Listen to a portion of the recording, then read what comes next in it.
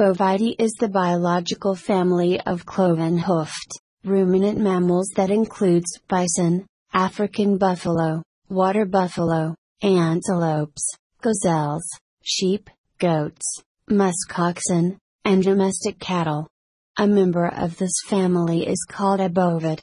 Consisting of 143 extant species and 300 known extinct species, the family Bovidae consists of eight major subfamilies apart from the disputed Peleinae and Pantholopinae. The family evolved 20 million years ago, in the early Miocene. The bovids show great variation in size and pelage coloration. Excepting some domesticated forms, all male bovids have two or more horns, and in many species females possess horns, too. The size and shape of the horns vary greatly, but the basic structure is always one or more pairs of simple bony protrusions without branches, often having a spiral, twisted or fluted form, each covered in a permanent sheath of keratin. Most bovids bear 30 to 32 teeth. Most bovids are diurnal. Social activity and feeding usually peak during dawn and dusk. Bovids typically rest before dawn, during midday, and after dark. They have various methods of social organization and social behavior, which are classified into solitary and gregarious behavior. Bovids use different forms of vocal, olfactory, and tangible communication. Most species alternately feed and ruminate throughout the day. While small bovids forage in dense and closed habitat, larger species feed on high fiber vegetation in open grasslands.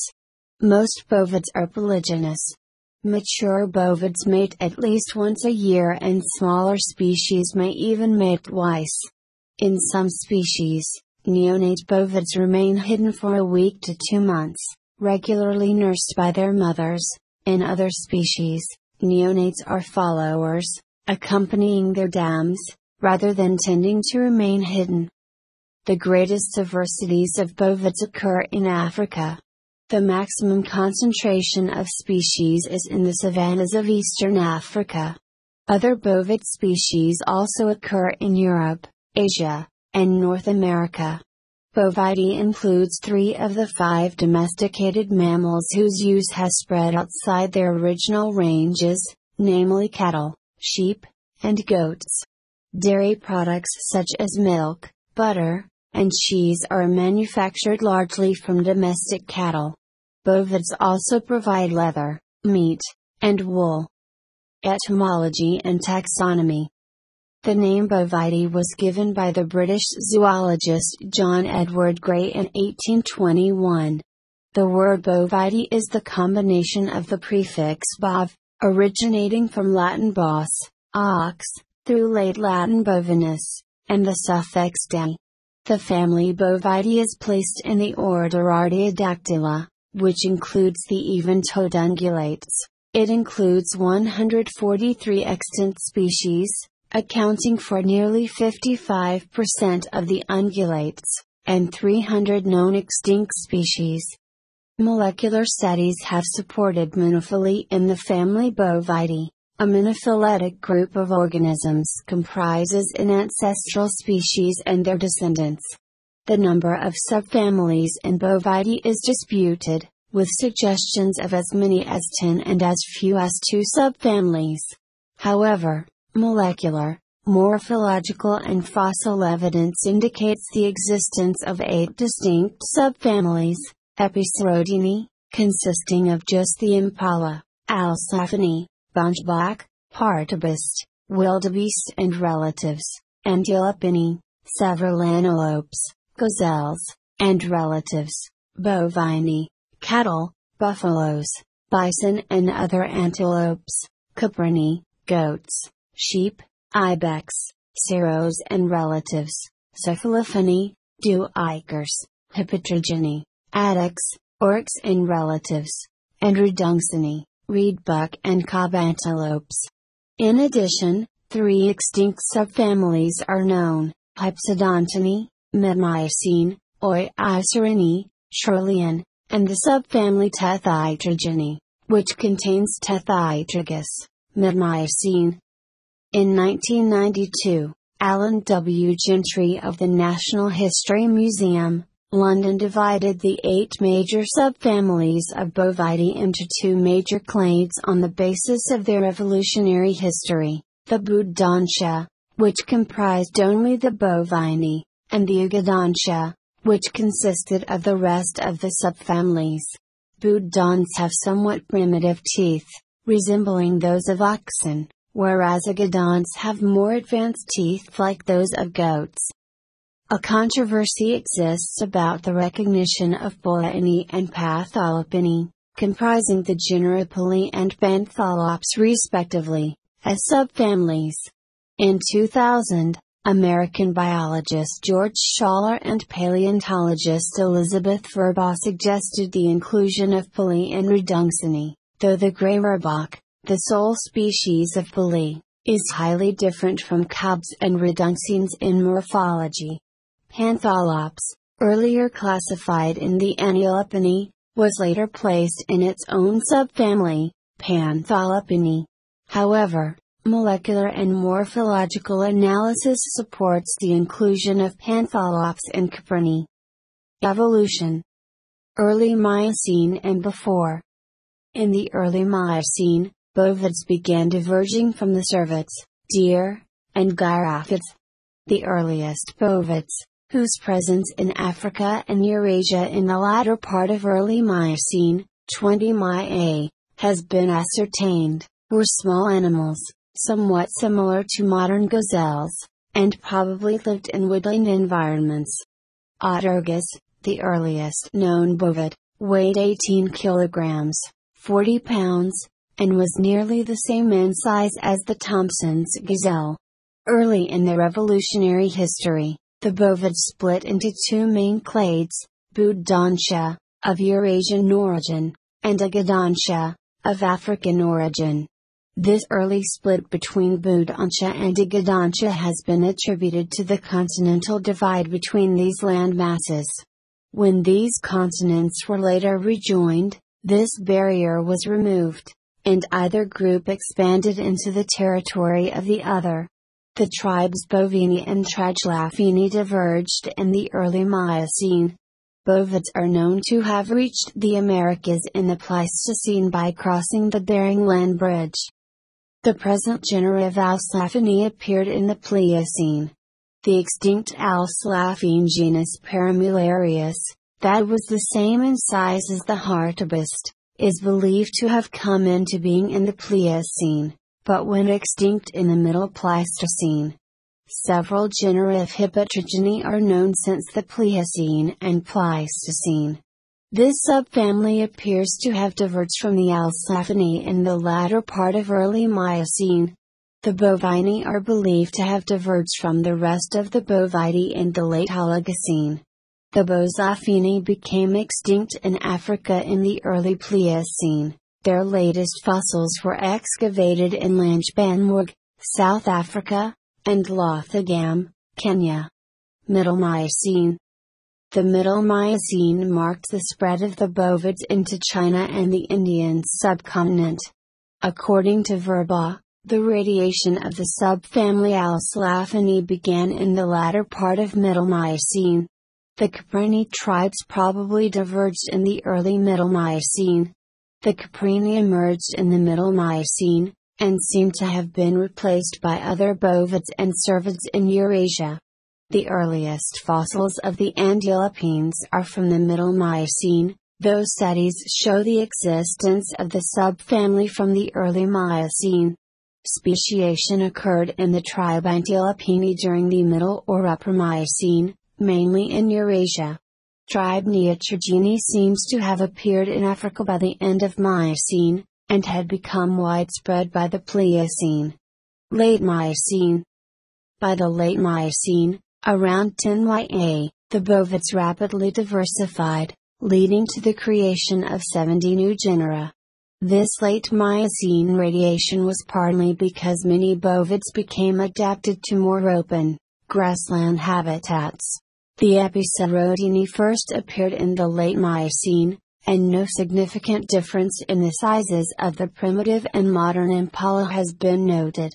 Fossils of obivines, a tribe of Caprini, in Africa date back to the late Miocene. The earliest Hippotragine fossils date back to the late Miocene, and were excavated from sites such as Lothagam and Awash Valley. The first African fossils of Reduncini date back to 6-7 Mi A. And Palaene probably diverged in the mid-Miocene.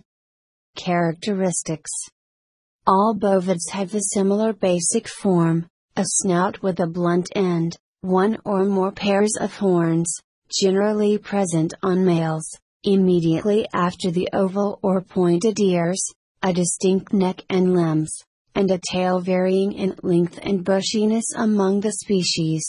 Most bovids exhibit sexual dimorphism, with males usually larger as well as heavier than females. Sexual dimorphism is more prominent in medium to large sized bovids.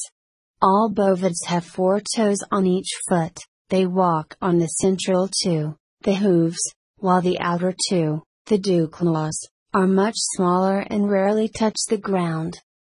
The bovids show great variation in size, the gaur can weigh as much as 1,000 kilograms, 2,200 pounds, and stands 2 to 3 meters, 6.6 to 9.8 feet, high at the shoulder.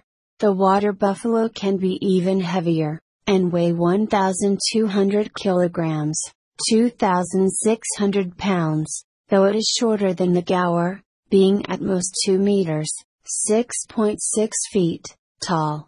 The royal antelope, in sharp contrast, is only 25 centimeters, 9.8 in, tall and weighs at most 3 kilograms, 6.6 pounds.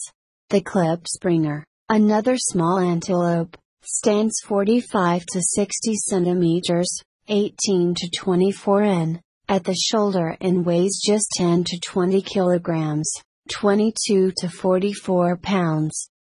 Differences occur in pelage coloration, ranging from a pale white, as in the Arabian oryx, to black, as in the black wildebeest. However, only the intermediate shades, such as brown and reddish brown, as in the reedbuck, are commonly observed. In several species, females and juveniles exhibit a light colored coat, while those of males darken with age. As in the wildebeest, the coat may be marked with prominent or faint stripes. In some species such as the addax, the coat color can vary by the season. Scent glands and sebaceous glands are often present. Some species, such as the gemsbok, sable antelope, and Grant's gazelle, are camouflaged with strongly disruptive facial markings that conceal the highly recognizable eye. Many species, such as gazelles, may be made to look flat, and hence to blend into the background, by countershading. The outlines of many bovids are broken up with bold disruptive coloration, the strongly contrasting patterns helping to delay recognition by predators. However, all the Hippotragini, including the gemsbok, have pale bodies and faces with conspicuous markings. The zoologist Tim Caro describes this as difficult to explain, but given that the species are diurnal, he suggests that the markings may function in communication. Strongly contrasting leg coloration is common only in the bovidae, where for example bos, ovis, bontebok and gemsbok have white stockings. Again, communication is the likely function. Excepting some domesticated forms, all male bovids have horns, and in many species, females, too, possess horns. The size and shape of the horns vary greatly, but the basic structure is a pair of simple bony protrusions without branches, often having a spiral, twisted, or fluted form, each covered in a permanent sheath of keratin. Although horns occur in a single pair on almost all bovid species, there are exceptions such as the four-horned antelope and the Jacob sheep. The unique horn structure is the only unambiguous morphological feature of bovids that distinguishes them from other peregrines. A high correlation exists between horn morphology and fighting behavior of the individual. For instance, long horns are intended for wrestling and fencing, whereas curved horns are used in ramming. Males with horns directed inwards are monogamous and solitary while those with horns directed outwards tend to be polygynous. These results were independent of body size.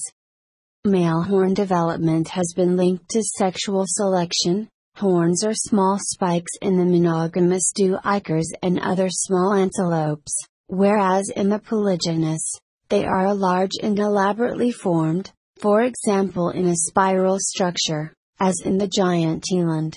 Thus, to some extent, Horns depict the degree of competition among males in a species. However, the presence of horns in females is likely due to natural selection. The horns of females are usually smaller than those of males, and are sometimes of a different shape. The horns of female bovids are believed to have evolved for defense against predators or to express territoriality, as non-territorial females, which are able to use crypsis for predator defense, often do not have horns. Females possess horns only in half of the bovid genera, and females in these genera are heavier than those in the rest. Females use horns mainly for stubbing. Anatomy In bovids, the third and fourth metapodials are combined into the cannon bone. The ulna and fibula are reduced, and fused with the radius and tibia, respectively. Long scapulae are present, whereas the clavicles are absent. Being ruminants, the stomach is composed of four chambers, the rumen, 80%, the omasum, the reticulum, and the abomasum. The ciliates and bacteria of the rumen ferment the complex cellulose into simpler fatty acids, which are then absorbed through the rumen wall. Bovids have a long small intestine, the length of the small intestine in cattle is 29 to 49 meters, 95 to 161 feet. Body temperature fluctuates through the day, for instance, in goats the temperature can change slightly from nearly 37 degrees Celsius, 99 degrees Fahrenheit, in the early morning to 40 degrees Celsius, 104 degrees Fahrenheit, in the afternoon. Temperature is regulated through sweating in cattle, whereas goats use panting for the same. The right lung, consisting of 4 to 5 lobes, is around 1.5 times larger than the left, which has 3 lobes. Dentition Most bovids bear 30 to 32 teeth. While the upper incisors are absent, the upper canines are either reduced or absent. Instead of the upper incisors, bovids have a thick and tough layer of tissue, called the dental pad, that provides a surface to grip grasses and foliage. They are hypsodont and selenodont, since the molars and premolars are low-crowned and crescent-shaped cusps. The lower incisors and canines project forward, the incisors are followed by a long toothless gap, known as the diastema. The general dental formula for bovids is 0.0.23.33.1.3.3. Most members of the family are herbivorous, but most duikers are omnivorous. Like other ruminants, bovids have four-chambered stomachs, which allow them to digest plant material, such as grass, that cannot be used by many other animals. Ruminants, and some others like kangaroos, rabbits, and termites, are able to use microorganisms living in their guts to break down cellulose by fermentation. Ecology and behavior. The bovids have various methods of social organization and social behavior, which are classified into solitary and gregarious behavior. Further, these types may each be divided into territorial and non-territorial behavior. Small bovids such as the klipspringer, oribi, and steenbok are generally solitary and territorial. They hold small territories into which other members of the species are not allowed to enter. These antelopes form monogamous pairs. Many species such as the dik-dik use pheromone secretions from the preorbital glands and sometimes dung, as well, to mark their territories. The offspring disperse at the time of adolescence, and males need must acquire territories prior to mating.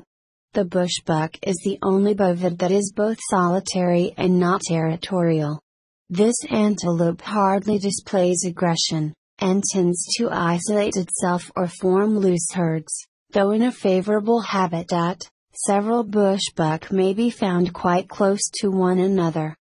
Excluding the cephalophines, duikers, tragelaphines, spiral-horned antelopes, and the neotragines, most African bovids are gregarious and territorial. Males are forced to disperse on attaining sexual maturity, and must form their own territories, while females are not required to do so. Males that do not hold territories form bachelor herds. Competition takes place among males to acquire dominance, and fights tend to be more rigorous in limited rutting seasons. With the exception of migratory males, males generally hold the same territory throughout their lives. In the waterbuck, some male individuals, known as satellite males, may be allowed into the territories of other males and have to wait till the owner grows old so they may acquire his territory. Lek mating, where males gather together and competitively display to potential mates, is known to exist among topis, kobs, and lechwes. The tragelaphines, cattle, sheep, and goats are gregarious and not territorial. In these species, males must gain absolute dominance over all other males, and fights are not confined to territories. Males, therefore, spend years in body growth. Activity Most bovids are diurnal, although a few such as the buffalo, bushbuck, reedbuck, and grysbok are exceptions. Social activity and feeding usually peak during dawn and dusk.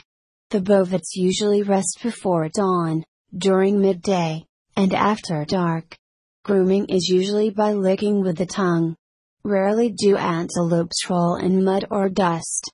Wildebeest and buffalo usually wallow in mud, whereas the hartebeest and topi rub their heads and horns in mud and then smear it over their bodies. Use different forms of vocal, olfactory, and tangible communication. These involve varied postures of neck, head, horns, hair, legs, and ears to convey sexual excitement, emotional state, or alarm. One such expression is the Flehmen response, Bovids usually stand motionless, with the head high and an intense stare, when they sense danger. Some like the impala, kudu, and eland can even leap to heights of a few feet. Bovids may roar or grunt to caution others and warn off predators, which include lion, tiger, brown bear, crocodile, dhole, Komodo dragon, spotted hyena, and cougar. Bovids such as gazelles stot or pronk in response to predators, making high leaps on stiff legs, indicating honestly both that the predator has been seen, and that the stotting individual is strong and not worth chasing. In the mating season, rutting males bellow to make their presence known to females. Muskoxen roar during male-male fights, and male saigas force air through their noses producing a roar to deter rival males and attract females.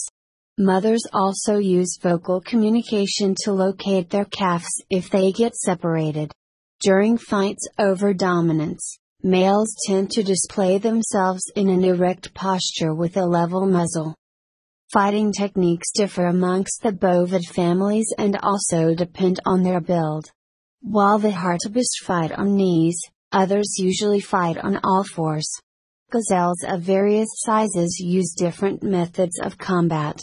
Gazelles usually box, and in serious fights may clash and fence, consisting of hard blows from short range. Ibex, goat and sheep males stand upright and clash into each other downwards. Wildebeest use powerful headbutting in aggressive clashes. If horns become entangled, the opponents move in a circular manner to unlock them. Musk oxen will ram into each other at high speeds. As a rule, only two bovids of equal build and level of defense engage in a fight, which is intended to determine the superior of the two.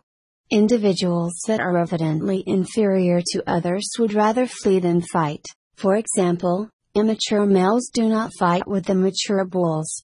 Generally, bovids direct their attacks on the opponent's head rather than its body.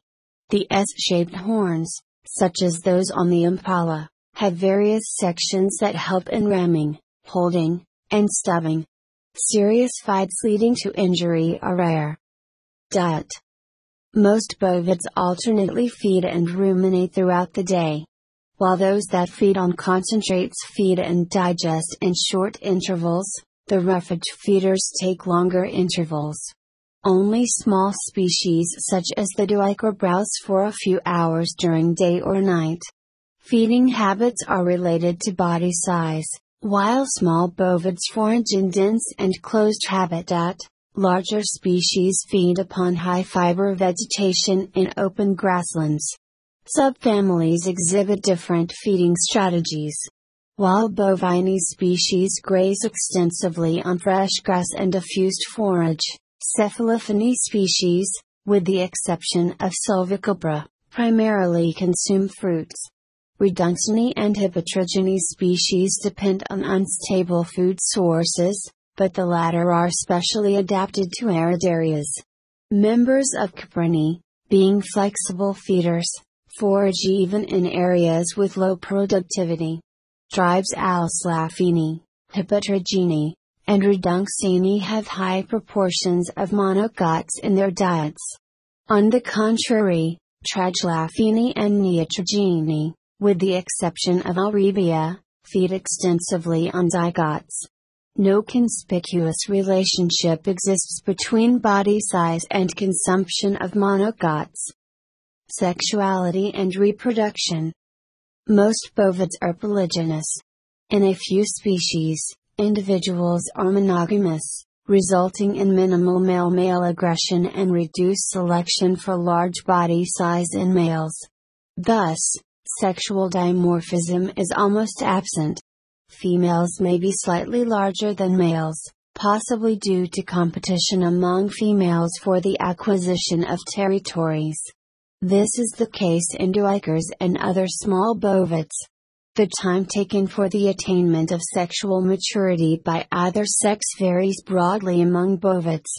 Sexual maturity may even precede or follow mating. For instance, the impala males, though sexually mature by a year, can mate only after four years of age. On the contrary, Barbary sheep females may give birth to offspring even before they have gained sexual maturity. The delay in male sexual maturation is more visible in sexually dimorphic species, particularly the reduncines, probably due to competition among males. For instance, the blue wildebeest females become capable of reproduction within a year or two of birth, while the males become mature only when four years old. All bovids mate at least once a year, and smaller species may even mate twice. Mating seasons occur typically during the rainy months for most bovids. As such, breeding might peak twice in the equatorial regions the sheep and goats exhibit remarkable seasonality of reproduction, in the determination of which the annual cycle of daily photoperiod plays a pivotal role. Other factors that have a significant influence on this cycle include the temperature of the surrounding a, nutritional status, social interactions, the date of parturition and the lactation period. A study of this phenomenon concluded that goats and sheep are short day breeders. Mating in most sheep breeds begins in summer or early autumn. Mating in sheep is also affected by melatonin, that advances the onset of the breeding season, and thyroxine, that terminates the breeding season. Estrus lasts for at most a day in bovids, with the exception of bovines and tragelaphines. Except the hartebeest and the topi, all bovids can detect estrus in females by testing the urine using the vomeronasal organ. Once the male is assured that the female is in estrus, he begins courtship displays. These displays vary greatly from the elaborate marches among gregarious species to the fervent licking of female genitalia among solitary species. Females, initially not receptive, ultimately mates with the male which has achieved dominance over others. Receptiveness is expressed by permission for mounting by the male and setting aside the tail by the female. Copulation generally takes a few seconds. Gestational period varies among bovids, while duiker gestation ranges from 120 to 150 days. Gestation in African buffalo ranges from 300 to 330 days. Usually, a single offspring is born, twins are less frequent, and it is able to stand and run by itself within an hour of birth. In monogamous species, males assist in defending their young, but that is not the case in polygynous species. Most newborn calves remain hidden for a week to two months, regularly nursed by their mothers. In some bovid species, the neonates start following about their mothers immediately or within a few days, as in the impala. Different bovids have different strategies for defense of juveniles. For instance, while wildebeest mothers solely defend their young, buffaloes exhibit collective defense. Weaning might occur as early as two months, as in the royal antelope, or as late as a year, as in muskox. Lifespan Most wild bovids live for 10 to 15 years. Larger species tend to live longer, for instance, American bison can live up to 25 years and gaur up to 30 years. The mean lifespan of domesticated individuals is nearly 10 years. For example, domesticated goats have an average lifespan of 12 years. Most wild bovids live between 10 and 15 years, with larger species tending to live longer. Usually males, mainly in polygynous species, have shorter lifespans than females. This can be attributed to several reasons early dispersal of young males, aggressive male male fights, vulnerability to predation, particularly when males are less agile, as in kudu, and malnutrition, being large in size. The male body has high nutritional requirements which may not be satisfied, Richard Despard Estes suggested that females mimic male secondary sexual characteristics like horns to protect their male offspring from dominant males. This feature seems to have been strongly selected to prevent male mortality and imbalanced sex ratios due to attacks by aggressive males and forced dispersal of young males during adolescence.